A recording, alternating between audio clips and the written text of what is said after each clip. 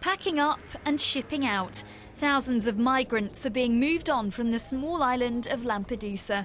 Since the beginning of this year, as North Africa remains in turmoil, thousands of people, mainly Tunisians, have been arriving here, with each boatload growing concerns about what will happen next.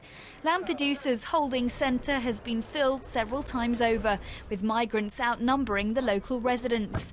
The official handling of the crisis has led to dissatisfaction in both communities. We are sleeping here on the ground. There are no toilets. There is nothing to cover ourselves with. We sleep on cardboard. We can't wash ourselves. We don't have anything good to eat. The food is not good. The pasta in the evening is not good. It's very tough here. Going to Rome or Sicily will be better. I was personally in favour of this government, but after what's happened in Lampedusa, all of the politicians have demonstrated that they are not on top of it. The people of Lampedusa have shown they are on top of the situation. The Italian government has not. Enter Italian Prime Minister Silvio Berlusconi, who visited the island on Wednesday, armed with a promise. Contiamo che le operazioni di imbarco possano prendere due giorni. Taking into account that the embarking operations can take up to two and a half days, we can say that in about 48 to 60 hours, Lampedusa will be inhabited solely by Lampedusans.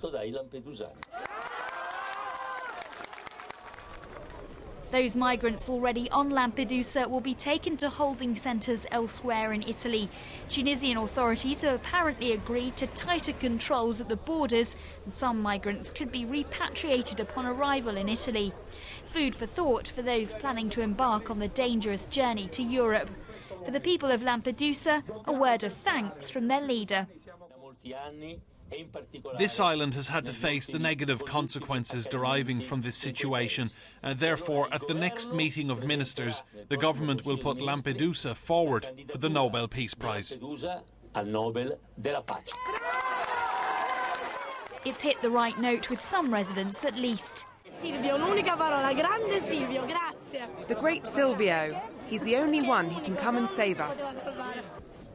And for the thousands of migrants who made the island their temporary home comes the next stage of their journey to what they hope will eventually be a better life. Geraldine Cooper, Sky News.